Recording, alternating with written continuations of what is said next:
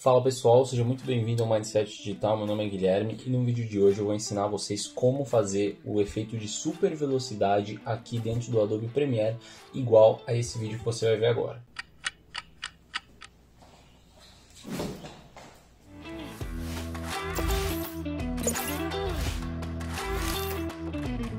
Bom, pessoal, vamos lá. Para você fazer esse efeito, você vai precisar de quatro takes, tá? Deixa eu importar ele aqui para dentro do Premiere, aí eu já mostro para vocês.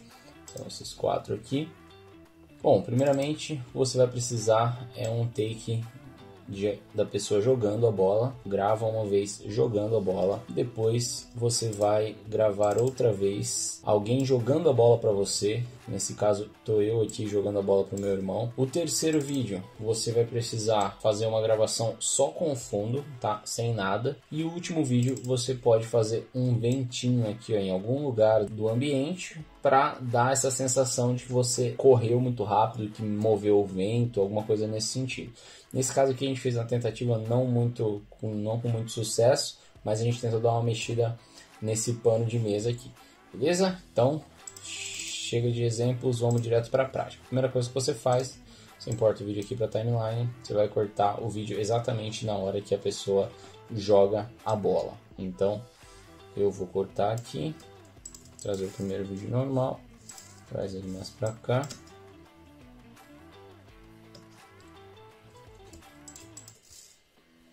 E agora o segundo vídeo você vai inserir justamente na hora que a outra pessoa está recebendo a bola. Então você vai juntar como se fosse um clipe só para ficar simétrico. Basicamente aqui. Vamos tentar. Então, esse primeiro take está muito longo, então eu vou tirar alguns frames dele. Ó. Vamos ver.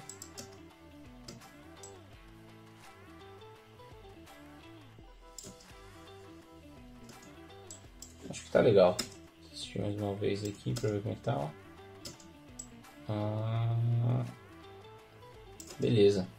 Tá ótimo. Perfeito. Ah, agora, que a gente vai... Vamos cortar esse final aqui. Show. Beleza. Cortamos o final. Já ajustamos ele aqui, ó.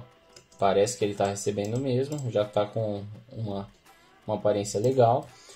A única a primeira coisa que a gente vai fazer aqui é um frame para a esquerda no primeiro clipe, corta um frame aqui e corta um frame do segundo também. Então a gente vai ficar com um frame de cada lado aqui, certo? Bom, desse lado aqui a gente vai criar uma máscara, bem aqui em controle de efeitos, vamos criar uma máscara em volta da minha pessoa aqui. A pessoa que no caso esse aqui é o meu irmão. Então vou criar uma máscara em volta dele aqui.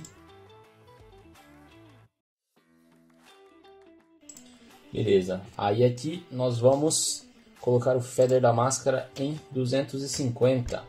Tá? É para ficar desse jeito mesmo, ele vai desaparecer um pouquinho.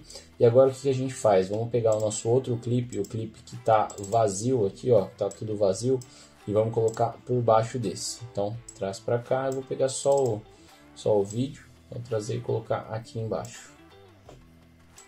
Tem que ser embaixo, não em cima. Então deixa eu aumentar a timeline aqui. Beleza, ó. Esse vídeo aqui vai pra cima. Isso, ó. Então ele vai sumir um pouquinho. Isso, justamente aqui. Nesse caso aqui, galera, agora o que a gente vai fazer? Vamos adicionar um. É... Aqui, ó. Directional Blur. Traz para cá. Tem o controle de efeitos. Vamos colocar aqui direção 90 graus e blur 100. Então, tá vendo que ele dá esse efeito de velocidade, ó. Talvez dê pra gente diminuir um pouquinho o feather da máscara, vamos deixar como uns 200, isso. E traz a posição dele um pouquinho para esquerda, para parecer que ele está se movendo, para dar esse efeito de movimento. Tá vendo? Então, vamos trazer um pouquinho para a esquerda aqui. E aqui a mesma coisa, eu vou criar um efeito nele é, criar uma máscara né, em volta dele também.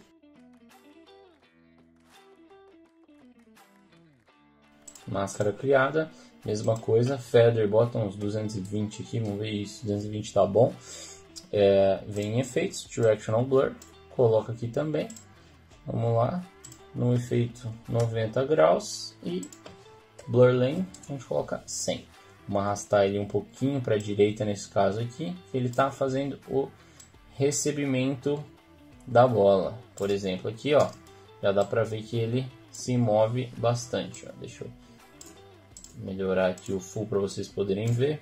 Ó, fica assim. Então já dá a impressão de que ele se moveu para pegar, tá vendo? Ó, full. Beleza. Agora, eu ainda estou aparecendo aqui, né? Ainda, eu ainda estou aparecendo aqui nessa, nessa imagem. Nesse caso, o que a gente vai fazer? Ó, aqui eu vou criar uma máscara desse lado da imagem. Ó, criar uma máscara aqui. Vou para cá e pronto. Nesse caso, eu devia ter criado do outro lado, mas eu vou só clicar aqui em inverter. Não, problema resolvido. Então agora eu já não apareço mais na imagem. Ó, aqui ó, já joguei e eu já tenho o efeito praticamente finalizado. Mas ainda falta a nossa última etapa, que é o ventinho, certo? O ventinho, a gente vai colocar esse último clipe que a gente gravou, ó, colocar na parte bem na parte aqui que move alguma coisa essa essa mesa aqui, um alt, trazer um pouquinho para cá. Ó. Deixar aqui por cima mesmo, tá, pessoal? Deixar bem por cima aqui mesmo, ó. Tá vendo? É, o ideal é começar bem na hora que se move. Então eu vou deixar por cima de tudo aqui. E o que, que eu vou fazer agora? Eu vou criar uma máscara em volta dessa mesa somente. Então, vem aqui, deixa eu voltar aqui no primeiro frame, dar um zoom e vou criar uma máscara em volta da mesa. Beleza. Volta ao normal. E agora a gente, ó, você já tem o efeito de vento aqui na máscara, tá vendo? Ela se move aqui conforme rola o vídeo. Show de bola. E a última coisa que você pode fazer é adicionar um efeito sonoro para dar esse efeito de chum na hora que ele se move, né? Como se estivesse simulando mesmo uma, uma super velocidade. Então eu já tenho o efeito aqui na minha pasta, o efeito de o efeito sonoro de som, Fast Sush você pesquisar no Google por sushi, efeito sonoro, suishi, suashi, você encontra várias, vários modelos de efeitos sonoros iguais a esse, tá? Nesse caso aqui, o meu é esse aqui, ó. Deixa eu aumentar um pouquinho o volume. Esse fum. Então é isso que eu quero adicionar dentro do meu vídeo. Eu vou colocar bem na hora que ele faz o movimento. Então é isso. Tá ótimo. Eu vou diminuir agora a altura, né? Clicar no G diminuir uns 15 decibéis. Show de bola, perfeito. Agora aqui, ó, começa o vídeo. Ele se move, acabou. Perfeito. Eu vou deixar até aqui, apagar isso aqui. E pronto, pessoal. Nosso vídeo de ultra velocidade, nosso efeito de ultra velocidade está feito. Você pode adicionar alguns outros efeitos em cima disso. Você pode fazer uma correção de cor aqui, ó. Dá pra ver que nesse primeiro frame, como eu gravei com a luz do sol, deu uma diferença de uma cena para outra. Tá? O ideal é que você grave em ambientes internos para não ter diferença de luz. Mas a princípio é isso. O efeito está pronto aqui, ó. E ficou bem legal. Beleza? Se você gostou, deixa o seu like, se inscreve no canal que em breve tem muito mais vídeos tutoriais. Travei aqui vários, vários vídeos tutoriais iguais a esse, beleza? Um abraço, até a próxima e valeu!